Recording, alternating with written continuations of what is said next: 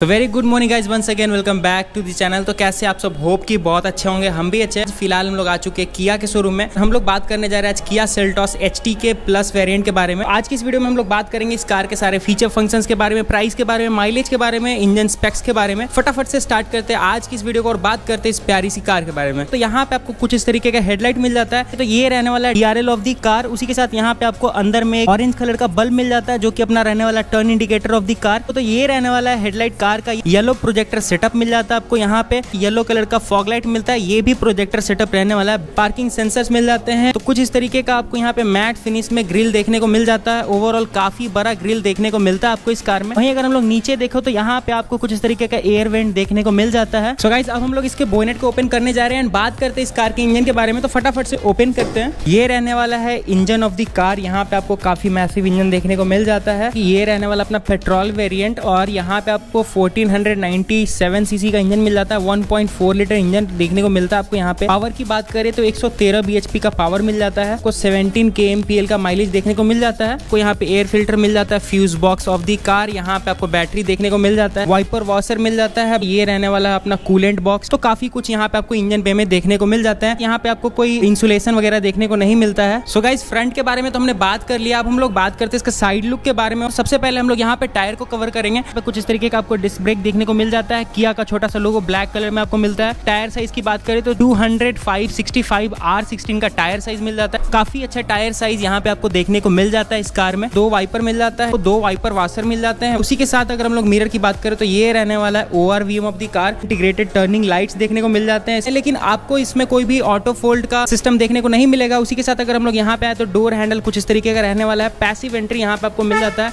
Single press में आप चाहो तो कार को लॉक और अनलॉक कर सकते हो। अब हम लोग इसके रियर सेक्शन की ओर आते हैं। कुछ इस तरीके का आपको यहाँ पे कार का जो रियर सेक्शन है, वो देखने को मिलता है। कनेक्टेड लाइट देखने को मिल जाता है। तो सेल्टॉस का लोगो देखने को मिल जाता है। किया का काफ़ी बड़ा थ्री डायमेंशन वाला एक लोगो देखने को मिल जाता है। यहाँ पे आपको एक वाइपर मिल जाता है। फॉगर भी मिल जाता है। हाई माउंटेड स्टॉप लाइट मिल जाता है आपको। ये रहने वाला shark fin antenna of the car so guys ये कुछ इस तरीके का आपको यहाँ पे काफ़ी बड़ा सा बूट स्पेस देखने को मिल जाता है। इसको उठाते हुए यहाँ पे आपको एक स्पेयर टायर मिल जाता है। काफ़ी सारे रिंचेस वगैरह मिल जाते हैं। ओवरऑल कुछ इस तरीके का यहाँ पे आपको बूट मिल जाता है। सो गाइज़ यहाँ पे आपको एक रिवर्स पार्किंग कैमरा भी मिल जाता है यहाँ पे। चार रिवर्स पार्किंग सेंसर मिल जाते हैं। सो गाइज़ अब हम लोग चलने वाले फटाफट से ड्राइविंग सीट पे और बात करते इस कार के इंटीरियर में जो कुछ फीचर फ़ंक्शन मिलते हैं उन सब चीज़ों के बारे में। यहाँ पे आपको काफ़ी सारे बटन मिल जाते हैं। ऑल फोर पावर विंडोज़ के कंट्रोल मिल जाते हैं। लॉक अनलॉक का बटन मिल जाता है। मिरर कंट्रोल्स मिल जाते हैं। ये अपना कार के डोर को लॉक अनलॉक करने का स्विच मिल जाता है। ये कार को ओपन करने के लिए गेज मिल जाता है। यहाँ पे रहने वाला ट्विटर ऑफ़ द कार ये रहने वाला स्पीकर ऑफ़ द कार यहाँ पे आपको ऐसा कोई लेदर इंसर्ट देखने को नहीं मिलता है। पूरा ही फाइबर का यहाँ पे आपको इंसर्ट देखने को मिलता है राइट साइड डोर में।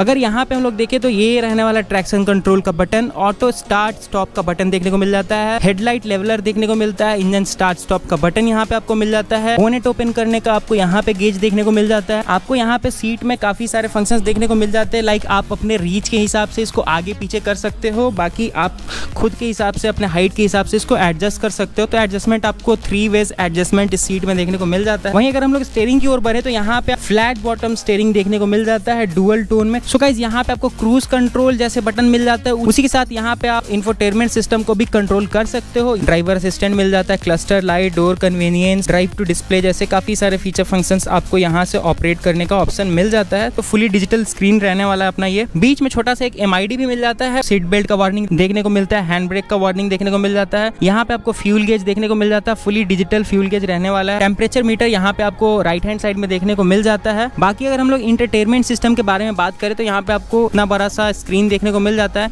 ठीक ठाक साइज़ रहने वाला, ज़्यादा बड़ा भी नहीं है बट ज़्यादा छोटा भी नहीं है। इसमें आपको काफ़ी सारे फीचर फ़ंक्शन देखने को मिल जाएँगे, जैसे नेविगेशन जैसे फीचर्स आपको यहाँ पे देखने को मिल जाते हैं। ज़्यादा बातें नहीं करेंगे हम लोग स्क्रीन के बारे में। ये रहने वाला हज़ार लाइट का बटन अपना, ये दो एसी वेंट्स यहाँ पे आपको मिल जाते हैं। यहाँ पे आपको ऑटो क्लाइमेट कंट्रोल एसी देखने को मिल जाता है। एसी के काफ़ी सारे कंट्रोल्स मिल जाते हैं। फ़ोन वगैरह रखने के लिए यहाँ पे आपको चार्जिंग सॉकेट मिल जाता है। कुछ इस तरीके का आपको गेयर नॉब मिलता है। Six speed manual gear transmission के साथ ये कार आती है। तो यहाँ पे आप की वगैरह भी रख सकते हो या फिर इसको हम लोग बोटर होल्डर भी बोल सकते हैं। मैनुअल हैंड ब्रेक देखने को मिल जाता है। ग्लॉव बॉक्स की अगर बात करें तो सफिशियंट है, ज़्यादा बड़ा भी नहीं है, ज़्यादा छोटा भी नहीं है। यहाँ देखोगे तो आपको एयर बैग का बैजिंग देखने को मिल जाता है। ये रहने वाला एसी वेंट तो आगे आपको टोटल चार एसी वेंट्स देखने को मिल जाते हैं। तो फ्रंट वाले डैशबोर्ड में आपको काफ़ी बड़ा सा यहाँ पे स्पीकर देखने को मिल जाता है। तो सिंगल प्रेस में हम लोग इसके सनरूफ को ओपन करेंगे ना, आप लोग को दिखाने वाले हैं। तो काफ़ी बड़ा सा सनरूफ आपको इस कार में देखने को मिल जाता है, जो कि इस प्राइस रेंज में आपको काफ़ी कम कार में देखने को मिलेगा तो ये देखो, काफ़ी मैसिव सनरूफ रहने वाला है। काफ़ी अच्छा व्यू मिलने वाला आपको यहाँ पे पैनारोमिक सनरूफ देखने को मिल जाता है इस कार में। आगे चार एयर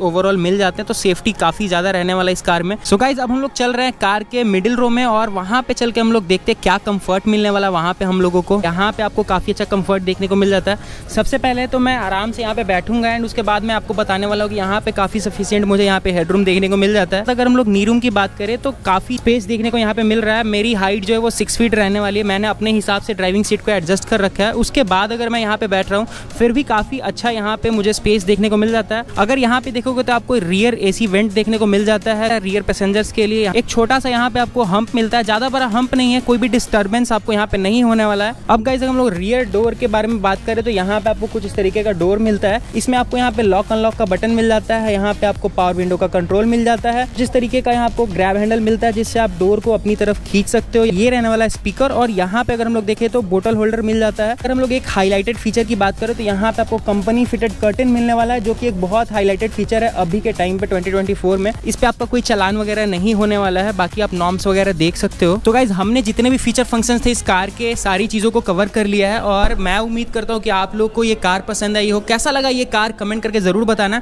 अगर आप लोग बिहार, पटना से हो, किया कि कोई सी भी कार चाहिए तो आप सीधा यहाँ शोरूम पे आ सकते हो। तो गाइज़ अब हम लोग फाइनली बात करने जा रहे इस कार के प्राइस के बारे में तो सोलह लाख छत्तीस हज़ार प्राइस रहने वाला इस कार का ऑन रोड पटना और वेरियंट रहने वाला H T K plus petrol variant manual transmission के साथ ये कार आती है। तो कैसा लगा आप लोगों को ये कार कमेंट करके ज़रूर बताना। आज के लिए बस इतना ही और मैं उम्मीद करता हूँ कि आप लोग को आज की वीडियो अच्छा लगा हो। इसी तरीके की ऑटोमोटिव कंटेंट देखने के लिए हमारे चैनल को सब्सक्राइब करें। करते फ़िलहाल के लिए इस वीडियो को यहीं पे मिलते किसी एक नए मज़ेदार वीडियो के साथ। तब तक के लिए bye bye and take care guys